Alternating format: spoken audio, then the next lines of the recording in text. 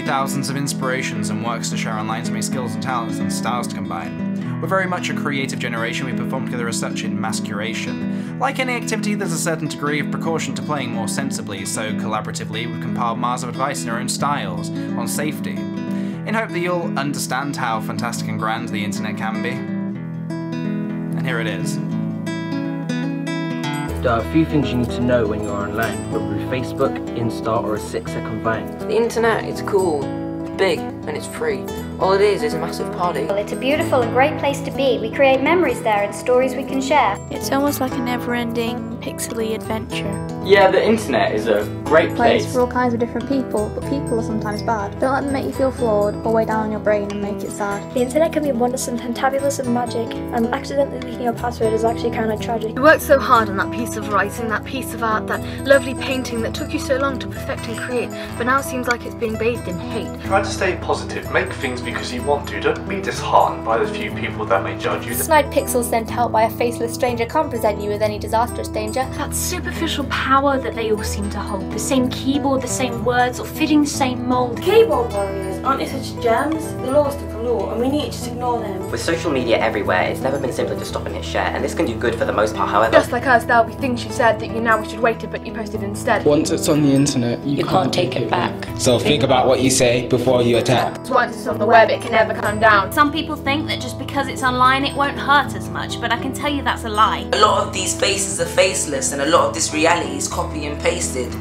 So making someone your buddy just because they have a nice body and something cool listed as a hobby is not always the safest. A face can be a face, but maybe not a true face. Inside the space can warp intentions and pull you down into blurred perceptions. Is that person real or fake? Or do what's best.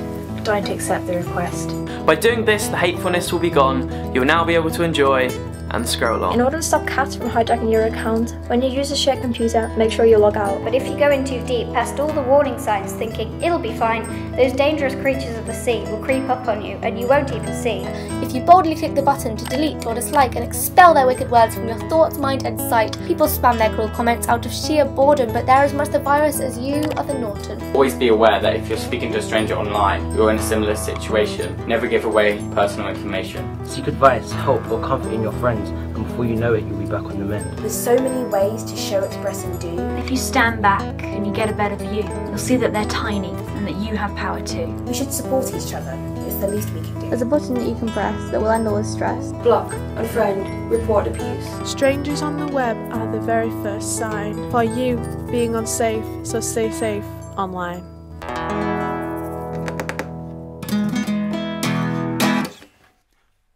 Thank you so much to everybody who submitted a video for the Well Versed campaign. Even if your video wasn't used, you have still engaged and contributed to a campaign that I hope inspires many, many people.